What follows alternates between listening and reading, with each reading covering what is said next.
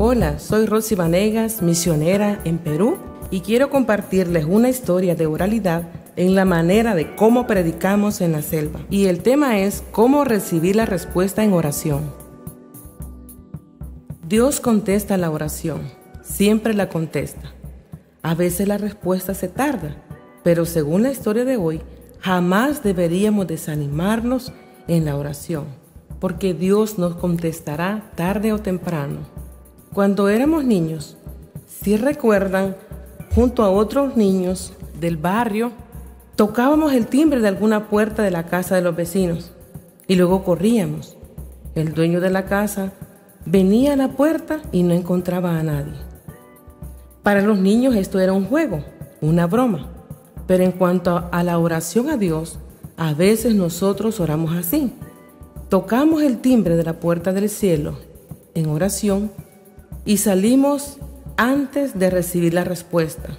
No tenemos fe, ni la paciencia para esperar en Dios hasta que venga la respuesta. La historia de hoy nos demuestra nuestra debilidad en la oración y nos anima para que seamos persistentes en la oración. Vamos a enfocarnos en la oración de fe de la viuda. Esta es la historia de la viuda y el juez.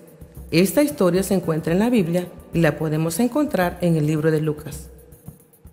Jesús contó una historia para enseñarle a la gente que deberían orar siempre sin desanimarse.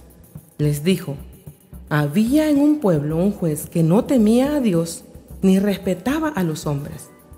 En el mismo pueblo había también una viuda que tenía un pleito y fue al juez para pedirle justicia contra su adversario.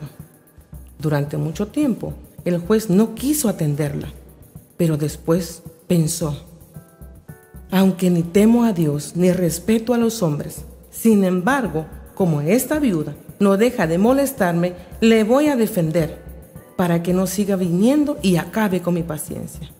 Y Jesús añadió, esto es lo que dijo el juez malo.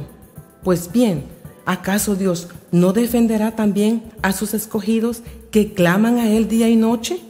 ¿Los hará esperar? Les digo que los defenderá sin tardarse. Pero cuando el Hijo del Hombre venga, ¿encontrará todavía fe en la tierra? Fin de la historia.